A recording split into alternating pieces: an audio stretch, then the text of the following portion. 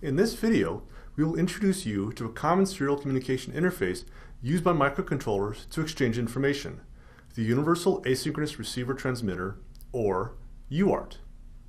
Let's take a look at what a UART is, one word at a time. First, UARTs are universal. That is, the UART serial communication peripheral is a universal standard that everyone uses. This would be analogous to a common language that everyone in the world understands. It sure would make communication a lot easier. Next, UART peripherals are asynchronous in nature. That is, the peripheral does not use a common clock signal to synchronize two microcontrollers that are communicating with each other. For a moment, let's look back at the diagram that shows you how to connect two microcontrollers via a UART interface. There are two lines to send and receive the data, but that's it. With asynchronous communication, no additional clock line is required.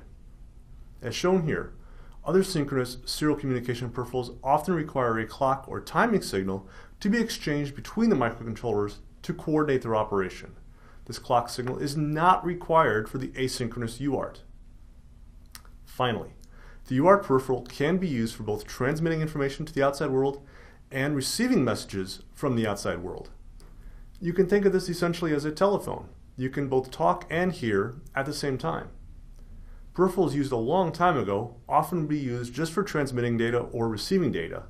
But with the advent of the UART, however, essentially all communication peripherals can now both send and receive information at the same time.